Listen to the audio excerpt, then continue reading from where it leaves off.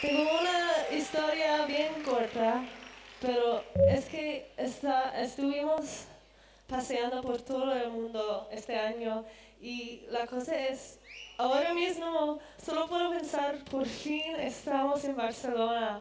So, muchas gracias, gracias a él por llevarnos aquí, gracias a ustedes.